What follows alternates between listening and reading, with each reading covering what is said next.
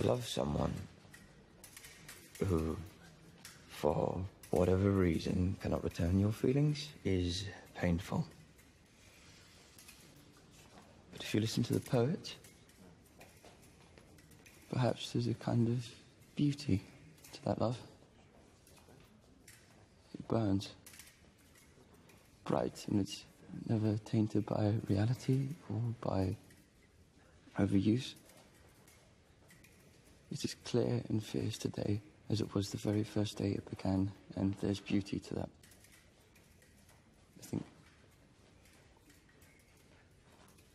At least that's what I cling to anyway.